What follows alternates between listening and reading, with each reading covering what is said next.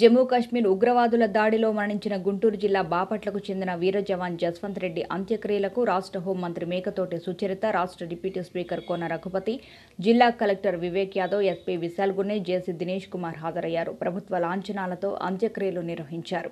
అనంతరం వీరమరణం పొందిన జవాన్ జస్వంత్ రెడ్డి కుటుంబానికి రాష్ట్ర ప్రభుత్వం మంజూరు చేసిన యాభై లక్షల రూపాయలు విలువైన చెక్కును జశ్వంత్ తల్లిదండ్రులకు హోంమంత్రి మేకతోటి సుచరిత ఉపసభాపతి కోన రఘుపతి అందజేశారు.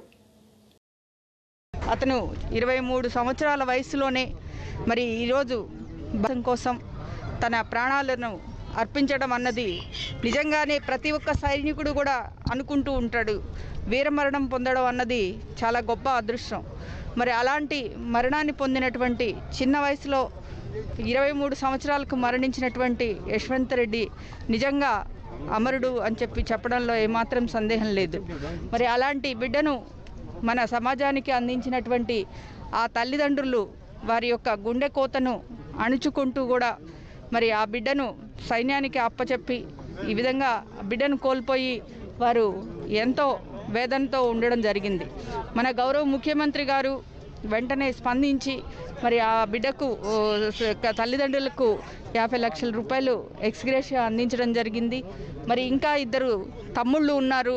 ఆ తమ్ముళ్ళ యొక్క భవిష్యత్తు కోసం అతను నిత్యం తప్పిస్తాడని చెప్పి మరి చదువుకోవడానికి వాళ్ళని ఎంతో ప్రోత్సహిస్తాడని కూడా తెలియజేయడం జరిగింది. మరి వారి యొక్క భవిష్యత్తు గురించి గౌరవ ముఖ్యమంత్రి గారి దృష్టికి తీసుకువెళ్ళి భవిష్యత్తులో వారికి తప్పకుండా ఏదైనా ఉద్యోగం కావాలని చెప్పేసి కోరుతా ఉన్నారు. ఖచ్చితంగా గౌరవ ముఖ్యమంత్రి గారి దృష్టిలోకి తీసుకువెళ్ళి మరి యొక్క వారి యొక్క భవిష్యత్తు ఖచ్చితంగా మంచిగా ఉండేటట్లు ఏర్పాటు చేయడం జరుగుతుంది. జశ్వంత్ రెడ్డి కుటుంబం చాలా చిన్న రైతు కుటుంబం.